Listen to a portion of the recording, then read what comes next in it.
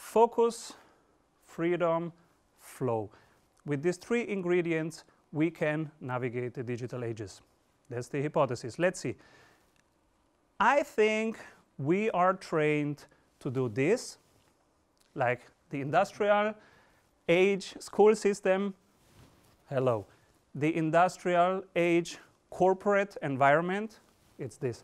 The industrial age, even team behaviors, teams that behave like they were a corporate environment, even if they are a startup.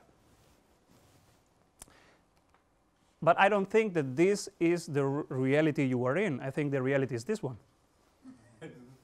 so it's, it's better to have small, flexible teams at the moment for most tasks, not for every task, but for most tasks, it's about getting small and getting flexible, right? So it's about smaller and smaller and smaller, and you don't know what the answer is.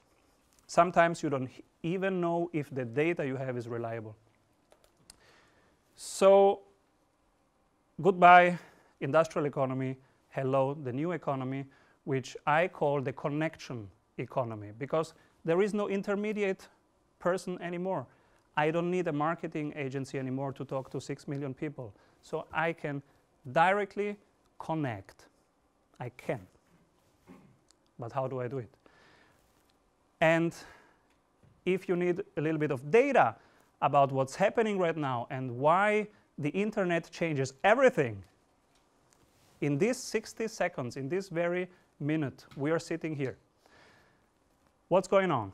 There are at the moment around 156 emails sent. Facebook logins, 0.8 millions in this minute. And Snapchat videos that are being watched right now, 7 million. That's not surprising. But if you look at the pattern of growth, there is something interesting going on there. Emails went up 4% in the last two years. 4% more emails sent. And you know that emails are not going to be relevant in the world of tomorrow. You will collaborate in apps like Slack and stuff. You won't need emails anymore. Facebook, 14% before that crisis. In the crisis, they lost a lot. Two days later, everybody went back in. Why? the network effect. If only it only works if your friends are in. So all friends came back. Snapchat growing for from half a million to 7 million in one year. This is exponential. This is explosive. We could build different hypotheses about that. One hypothesis I wrote in my daily blog is that the business model of Facebook is I connect you with as many people as possible, and that this, phase, this business model is not really sustainable on the long run because human nature is not about connecting with as much people as possible. You don't want to connect with as many people as possible. Today we are 300 at this conference. With how many people would you like to connect?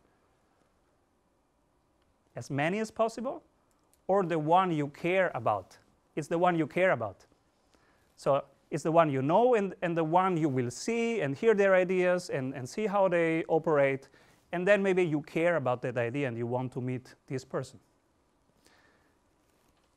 Snapchat has a different business model. If you have kids, you maybe you know Snapchat. So the business model is I connect you with the people you care about. You can only connect to people you care about. It's not about maximizing connections, but it's about the relevant connections. And I think this is a major differentiator of all the business models in the digital age.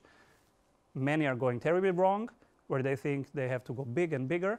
I think it's about going small and smaller. What's your minimum viable audience? What is the minimum clients you want to have? what's the minimum revenue you need to have? I think that's a much better thinking to, to craft a strategy for your digital ages.